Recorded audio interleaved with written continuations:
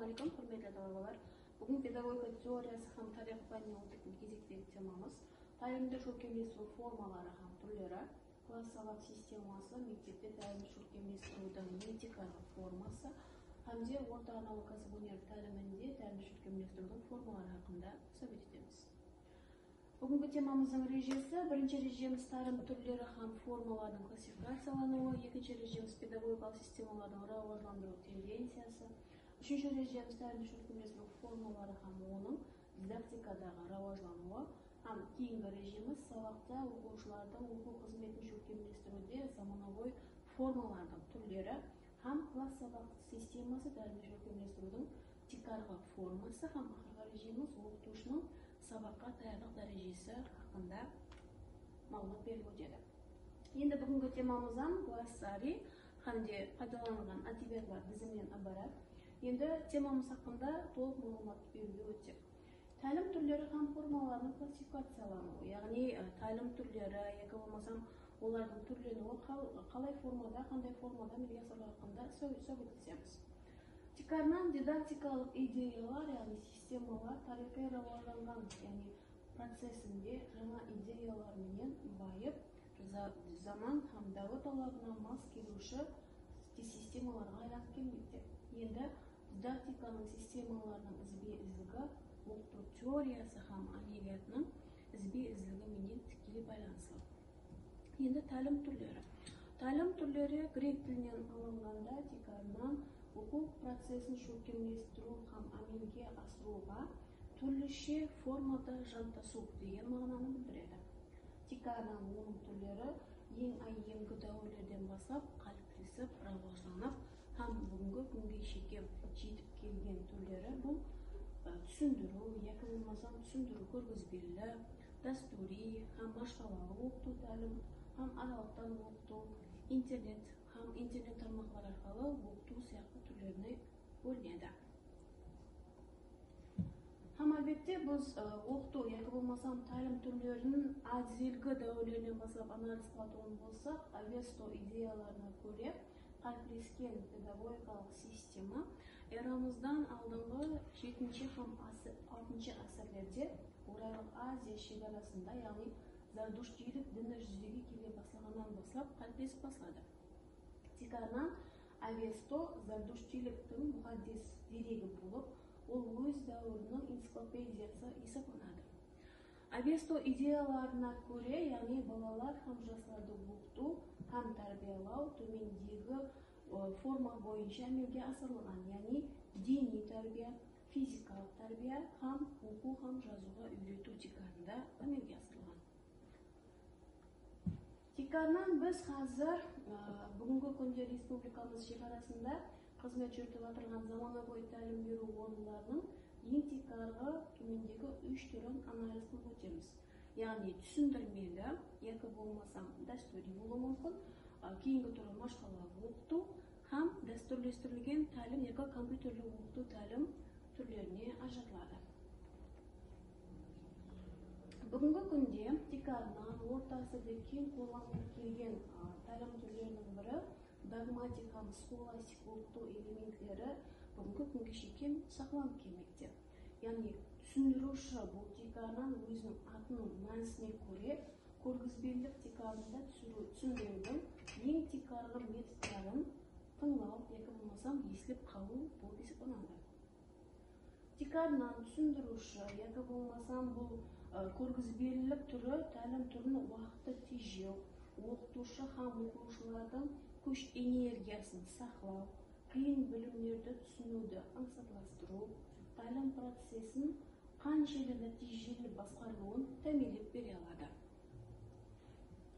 һәм және бір түріміз машқалалы оқыту ол оқу машқалаларын шешу процесінде білімдерді мұстақыл иелеуге һәм де оқушылардың дүретушілік пікірлері яки болмасам қабыл ету процесінің рауажландыру жолы менен бүгінгі күнде яғни оның технологиясы әрқилылығы менен ажыралып тұрады яғни бұнда деканнан оқушылардың актив қабыл ету қызметіне деканнан оларды қабыл ету яки болмасам оларды өзіне қарата алу мүмкіншілігін бере алады һәм оның нәтижесін асырып береді Бұндай оқытуда машқалалы жағдайды жарату ең тикарғы басқышлардың бірі саналады. Бұндай жағдайда машқалалы жағдай жүзеге келген пайтта ортада, яғни сол жүзеге келген машқаланы сапастыру, яки болмасам шешу үшін топарда барша талабалар өздерінің жеке пікірлерін білдіреді, һәм ең соңында қолай һәм дұрыс шешімді қабыл етуге тикар болады. Кейінгі түріміз дәстүри тәлім, яғни дәстүрлестірілген оқыту.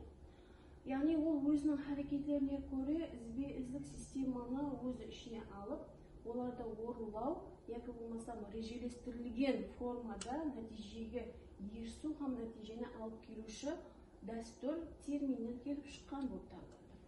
Бұл түрі тикарның тикарға мақсатты оқу процесін басқаруды жақсылаудан ібарат болады. Оған көре оқыту құрамалы динамик система сипатында қаралады. Дәстүри тәлім тикарынан дидактикалық психологиялық һәм кибернетикалық идеялар тикарында жиырманчы ғасырдың алпысыншы жылдарынан бастап жүзеге келіп бастаған.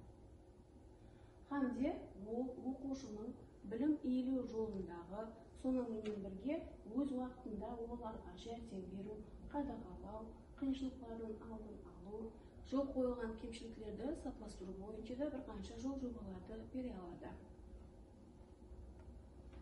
Енді дәстүри тәлімнің этикалық өзгешеліктері төмендегіден барады. Яғни біріншісі оқу материалының бөлек бөлмелерге ажыратылуы оқу процесіндегі білімдерді өздестіру бойынша білімдер һәм пікірлер ортасындағы бірліктен ібарат болған ізбе ізлік идеялар яки болмасам басқышлардан ібарат болуы бір қадемнің яғни бір сол қылынған іс әрекетті қадағалау яки болмасам оның жұмағын істеп шығу һәм соңында тапсырмаларды қадағалап тура орындаған оқушыларға жаңа материалдарды иелеу үшін һәм нәубеттегі тапсырмаларды беру үшін кейінгі басқышқа өтіледі.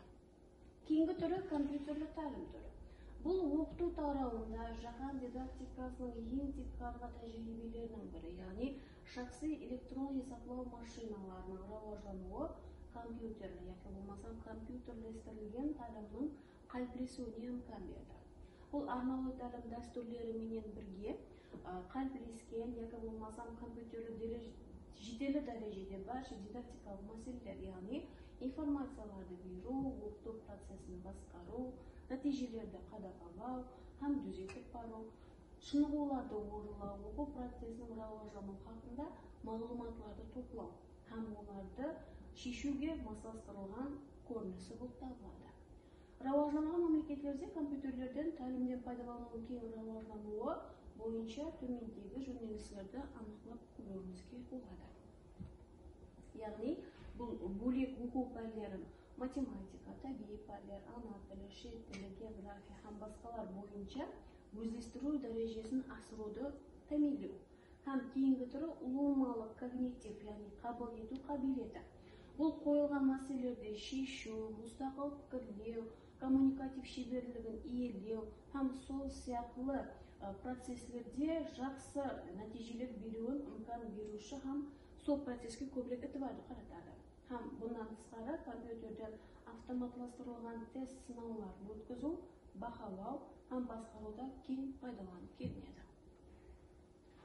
Енді тикарнан азыр біз тәлім түрлерінің тикарға түрлерін көріп өттік. Һәм бұларға көре тәлім педагогика системасының рауаждануында тенденциясы хақында айтып өтеміз дүниеде сондай тәлім системасы жүзеге келген оны көпшілік қолдап тұрушы тәмелеуші жәрдемші оқыту формасы деп те атайды. Ол адамды әрбір инсанды күнделікті машқауларын шешуге даярлық дәрежесін асыру һәм шәхстің қызметі һәм тұрмыс қолдап қуатлау үшін мөлшерленген саналады. Енді бұл бойынша бүгінгі күнде инновацион жаңалық кіріту тәлімді көркемдестіруде ең үлкен бөлік ахметке ие түрлерінің бірі болып табылады. Яғни ол өзінде жүзеге келіп отырған машқалаларды сапыластыру һәм шешуде технологияның рауажданған жаңа формасын түзу жүзеге келтіру һәм сол текарда машқалаларды сапыластыра алу мүмкіншілігін бере алады. Әлбетте біз жоғарыда келтіріп өткен тәлім түрлерін түрлерінен әлбетте әрбір педагог оқытушылар бүгінгі күнде оқыту процесінде пайдаланады қолданып келмекте әлбетте өздерінің күткен нәтижелеріне ерісіп келмекте. Сонымен бүгінгі темамыз жұмыханада назарларыңыз үшін рахмет